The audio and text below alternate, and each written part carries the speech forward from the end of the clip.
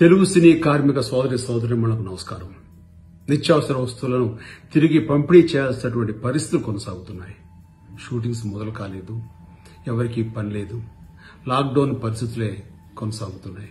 కనుక సిసిసి కమిటీలో మేమంతా రెండవసారి కూడా అన్ని వేల మందికి నిత్యావసర వస్తువులు అందివ్వాలని నిర్ణయించుకున్నాం. అయితే పోయినసారి లాక్డౌన్ కారణంగా మీరు మీ ఇళ్ళకే పరిమితం అయిపోయారు బయటికి రాలేరు కాబట్టి మీ అందరి ఇళ్ళకి స్వయంగా సిసిసి వాలంటీర్స్ అందివ్వడం జరిగింది. దానివల్ల కొంచెం జాప్యం జరిగింది. ఈసారి మీ అసోసియేషన్లకు అలాగే మీ యూనియన్ ఆఫీసులకు మేము వస్తువులు చేరవేశాము. మీ మీ నాయకులు చెప్పిన టైం పీడి తీసుకోండి. అలాగే నాయకులకు ప్రత్యేకించి చెప్తున్నాను. మీరు ఇచ్చిన మెంబర్స్ లిస్టు ప్రకారం మేము వస్తువులు అందివ్వడం జరిగింది. ఏ ఒక్కరూ మాకు అందలేదు అన్న మాట రాకుండా చూసుకోండి ప్లీజ్.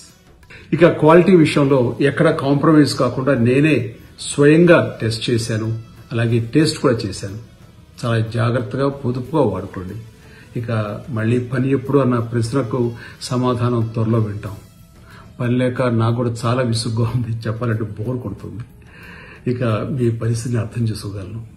త్వరగా ఈ కరోనా మహమ్మారిని వదిలించుకుని తిరిగి పనులు ప్రారంభం కావాలని చేతినిండా పని ఉండాలని మనందరికీ నేను మనస్ఫూర్తిగా కోరుకుంటున్నాను. ఇక్కడ ఒక విషయం చెప్పుకోవాలి. పని ముఖ్యమే కానీ పని కంటే ముందు ప్రాణం ముఖ్యం. ఈ సమయంలో తీసుకోవాల్సిన అన్ని జాగ్రత్తలు తీసుకోండి. మీరు జాగ్రత్తగా ఉండండి మీ ఇంట్లో వారిని జాగ్రత్తగా ఉండేలా చూసుకోండి. మరీ ముఖ్యంగా చిన్నపిల్లల్ని వయసు మళ్ళిన పెద్దవాడిని మరీ మరీ జాగ్రత్తగా చూసుకోండి. ఎట్టి పరిస్థితుల్లోనూ అధైర్యపడకండి. రోజులు ఎప్పుడు ఇలాగే ఉండవు. అందరం మళ్ళీ బిజీ అవుతాం. పనితోటి చాలా సంతోషంగా ఉంటాం.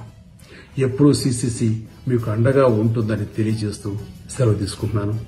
మీ చిరంజీవి. నమస్తే.